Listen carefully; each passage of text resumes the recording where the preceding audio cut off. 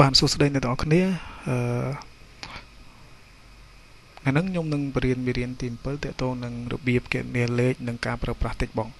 អញ្ចឹងមុននឹងការចូលដល់មេរៀនទី7ដែលយើងសិក្សាពី calculator number ហើយនិង using text អញ្ចឹងខ្ញុំសូមធ្វើការ review នៅមេរៀនមុនដែលយើងសិក្សាពីរបៀបបង្កើតម៉ូដអក្សរនិងដាក់អក្សរនៅដើមអត្ថបទអញ្ចឹងសម្រាប់មេរៀនទី6ហ្នឹងគឺខ្ញុំបានបរៀនអ្នកទាំងអស់គ្នារួចហើយដែល ពីរបៀបនៃការដាក់ម៉ូដអក្សររចនាម៉ូដអក្សរនិងការដាក់អក្សរធំនៅដើមអត្ថបទអញ្ចឹងដើម្បីបង្កើតម៉ូដអក្សរបាន គឺយើងគ្រាន់តែចូលចូលនៅលើ Microsoft Word Excel 2013យើងមកហើយអ្នកទាំងអស់គ្នាចុចលើ insert ហើយអ្នកទាំងអស់គ្នាយកពាក្យថា word art អញ្ចឹងមាន word art ជាច្រើនដែលអ្នកទាំងអស់គ្នាអាចយកមករចនានៅក្នុង document របស់អ្នកទាំងអស់គ្នាបាន អញ្ចឹងចំណុចបន្ទាប់គឺយើងសិក្សាពី drop cap drop cap គឺយើងនឹងសិក្សាអំពីការដាក់អក្សរធំនៅលើផានកម្មរបស់យើងនៅលើ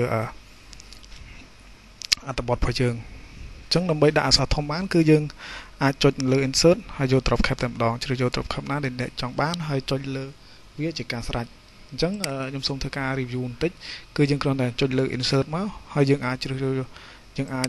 មាន paragraph មួយយើងអាចទៅសេ paragraph អីមួយអញ្ចឹងច្រើនមកអ្នកនរគ្នាអាចចុចលើ paragraph នោះ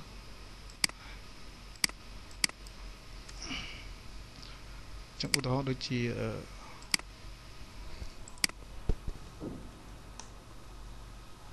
ដូចជាខ្ញុំមាន paragraph មួយអញ្ចឹង paragraph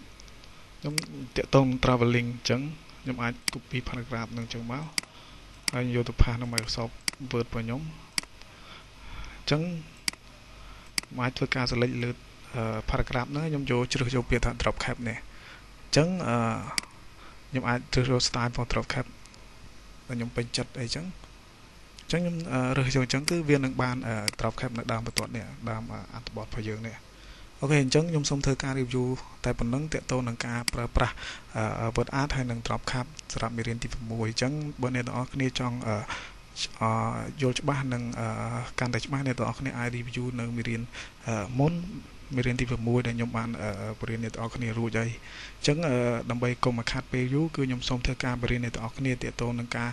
គណនាលេខនិងប្រើប្រាស់តិចបកអូខេគឺ គណនាលេខគឺយើងអាចគណនាបាននៅលើ Microsoft Word ដូច Excel ដែរតែវាគ្រាន់តែមានងាយស្រួលដូច Excel អញ្ចឹងហើយអ្នកទាំងគ្នាអាចអាចធ្វើការគណនាលើ Word បានដូចគ្នាចឹងខ្ញុំសូមធ្វើការបង្ហាញពីរបៀបគណនាលេខដើម្បីគណនាលេខបានគឺយើងសូមចុចលើម៉ៅនៅត្រង់កន្លែងដែលយើងចង់គណនាឬចុច layout ហើយចុចពាក្យថា formula ជ្រើសរើសប្រភេទគណនាបូកដកឬគុណនៅត្រង់ function ចុចលើ OK ហើយ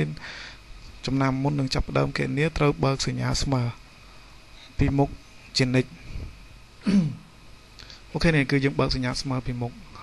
ជានិច្ចអូខេអញ្ចឹងខ្ញុំសូមធ្វើការបង្ហាញអ្នកទាំងអស់គ្នាផ្ទាល់នៅលើ Microsoft Word 2013អញ្ចឹងមុននឹងខ្ញុំធ្វើការគណនាលេខអ្នកទាំងអស់គ្នាបានឃើញខ្ញុំសូមធ្វើការបង្កើតតារាងដែល ការបង្កើតតារាងខ្ញុំបានបរៀនអ្នកទាំងអស់គ្នារួចហើយនៅមេរៀនមុនមុនអញ្ចឹងអ្នកទាំងអស់គ្នាអាចធ្វើការ review ទៅទៅនឹងការបង្កើតតារាងអញ្ចឹងអូខេអញ្ចឹង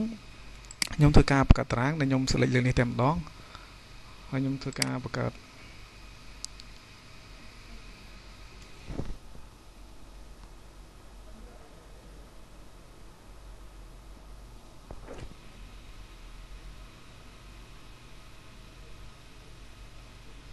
ខេខ្ញុំធ្វើការផ្គត់ត្រាងហើយបើអ្នកទាំងអស់គ្នាចង់មើលកន្លែងនេះចូលគ្នាគឺអ្នកទាំងអស់គ្នាក៏ចូលចូល layout គឺយើងធ្វើប្រើប្រាស់ពេលច្រើនគឺពេលដែលយើងបង្កើតតារាងរួចគឺយើងប្រើប្រាស់នៅលើ layout tab ស្ទើរតែទាំងស្រុងអញ្ចឹងអ្នកទាំងអស់គ្នាយកគ្រាន់តែចុចពាក្យថា merge cell អញ្ចឹង cell ទាំងអស់នឹងមើលចូលគ្នាអ្នកមកប្រឡោះមកប្រឡោះហ្នឹងគឺយើងហៅថា cell អូខេអញ្ចឹងខ្ញុំធ្វើការទាញ cell ខាងធំអញ្ចឹងខ្ញុំកន្លែងនេះខ្ញុំសូមដាក់ form mula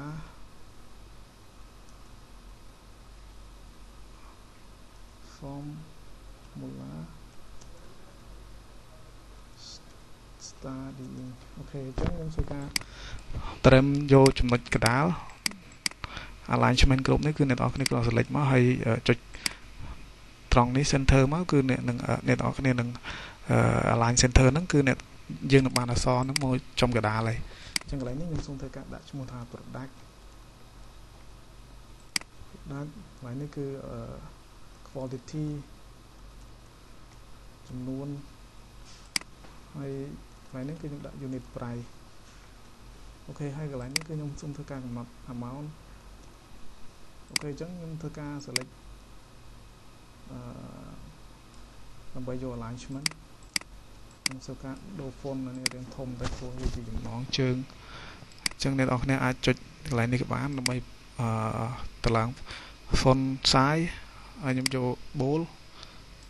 យកអាចយក16អញ្ចឹងកន្លែងនេះខ្ញុំអាចយកឲ្យ bold ដែរតែខ្ញុំយកត្រឹមតែ10ត្រឹមតែ12បានហើយអូខេអញ្ចឹងកន្លែងនេះគឺខ្ញុំសូមធ្វើការ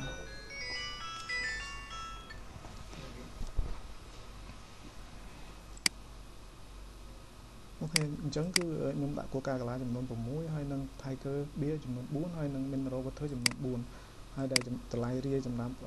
គោលការណ៍កន្លះគឺ2000រៀលនឹងស្មើនឹង0.50សេនហើយ Tiger គឺមួយកំប៉ុង1ដុល្លារអញ្ចឹង Mineral Water គឺមួយកំប៉ុង1000អមួយដប1000គឺស្មើនឹង0.25អញ្ចឹងខ្ញុំធ្វើការតម្លៃសរុបមកគឺ amount គឺ6កំប៉ុងគឺយើងអស់ 3ដុល្លារហើយ Tiger 4កំប៉ុងគឺអស់4ដុល្លារហើយអឺ Mineral Water 4គឺអស់1ដុល្លារអូខេអញ្ចឹងខ្ញុំធ្វើការ align ដើម្បីងាយស្រួលមើលគឺនៅกระดาษអញ្ចឹងជាដំបូងគឺខ្ញុំធ្វើការសាំសាំចំនួនសរុបនេះថាចំនួនលុយសរុបគឺអស់ប្រហែលអញ្ចឹងអញ្ចឹងយើងអាចគណនានៅមាត់គឺអស់8តែជាមួយយើងធ្វើការ calculate នៅលើ formula តើត្រូវអត់អញ្ចឹងយើងគ្រាន់តែដាក់ cursor នៅត្រង់កន្លែងនេះគឺចុចពាក្យថា formula ហើយ by default វានឹងចេញពាក្យថា sum នៅកន្លែងនេះស្រេចអញ្ចឹងអ្នកនរគ្នាគ្រាន់តែរើសនិមិត្តសញ្ញាឬក៏ style នៃការសូចំនួនទឹកលុយអញ្ចឹងខ្ញុំសូមការធ្វើការរើសចំនួនកន្លែងហ្នឹងហើយខ្ញុំចុច OK អញ្ចឹងគឺនឹងបាននឹង total គឺអស់8ដុល្លារអូខេអញ្ចឹងបើសិនជាអ្នកនរគ្នាចង់ធ្វើការការគុណ យក3គុណ3គុណនឹង4គុណនឹង1នេះស្មើប្រមាណអញ្ចឹងអ្នកនរគ្នាអាចធ្វើការដាក់ cursor នៅត្រង់កន្លែងហ្នឹងហើយចុចពាក្យថា formula ហើយអ្នកនរគ្នាអាចធ្វើការកែអាចធ្វើការដាក់សញ្ញាស្មើមុន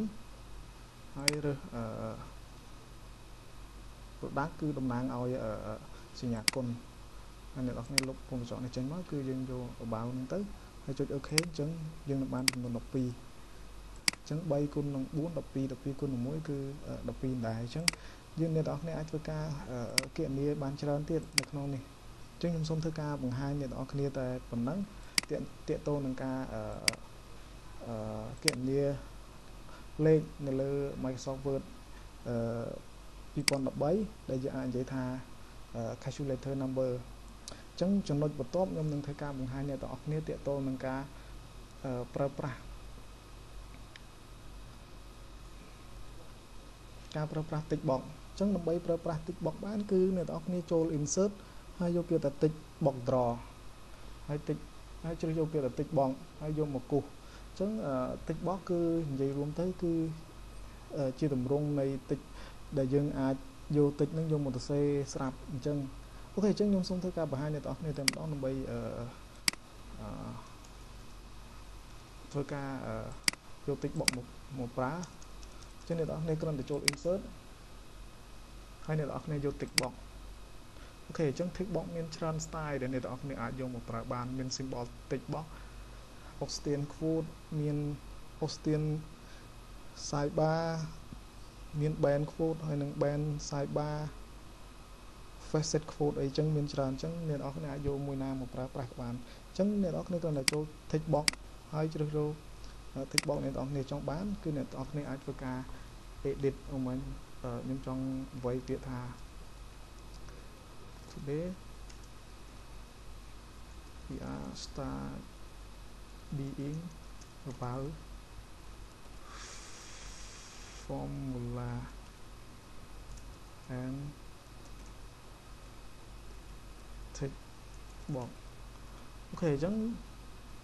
អឺអ្នកទាំងអស់គ្នាអាចអឺយក tick box នឹងទៅ